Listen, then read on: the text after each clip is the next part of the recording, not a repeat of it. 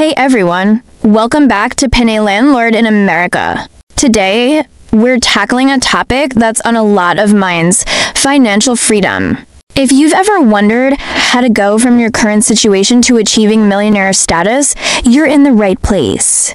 We're going to cover a proven financial freedom formula with five practical steps to help you build real wealth. Get ready to take notes and let's dive right in. Step number one Define your financial freedom goal. In our formula is defining your financial freedom goal.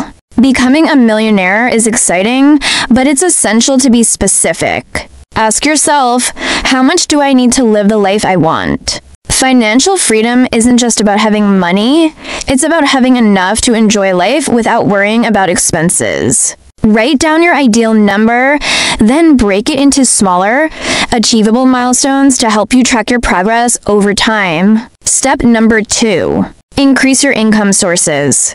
Let's talk income. Millionaires rarely rely on one source of income, they diversify. If you're working a 9 to 5, consider adding side hustles, freelance work, or even starting a small business. The goal is to create multiple streams of income to support your primary earnings. This not only increases your financial security, but accelerates your path to that million dollar goal. Step number three master the art of budgeting and saving.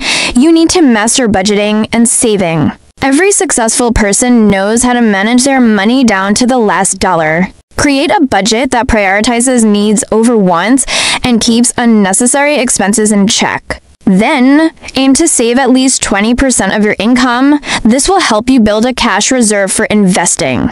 Remember, the key is discipline. The more you save now, the more you can invest for future wealth. Step number four invest for growth.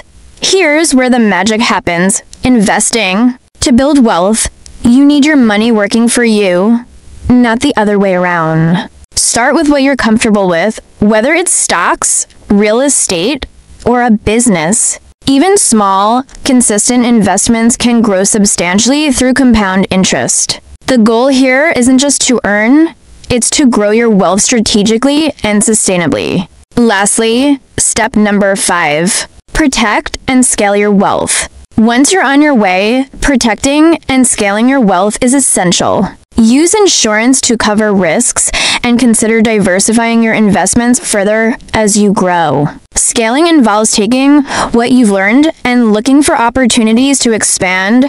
Maybe that's moving into new investments or scaling up your business. Millionaires don't just grow wealth, they secure it for the long term.